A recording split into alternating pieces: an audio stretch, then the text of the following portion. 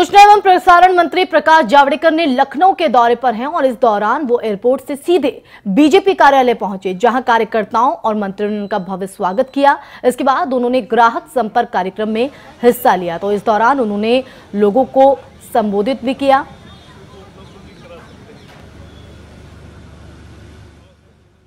इस मेले में बहत्तर करोड़ के 1500 से ज़्यादा लोन स्वीकृत किए गए और प्रत्यक्ष दिए गए ये बहुत महत्वपूर्ण है।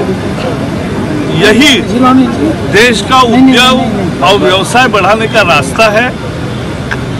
पहले गरीब को बैंक की सेवा उपलब्ध नहीं थी, लेकिन मोदी जी के नेतृत्व में जनधन खाते जब खुले तो 35 महीने में 35 करोड़ खाते खुले और इस 35 करोड़ खाते में अनेक खाते ऐसे थे जिसमें ज़ीरो बैलेंस था।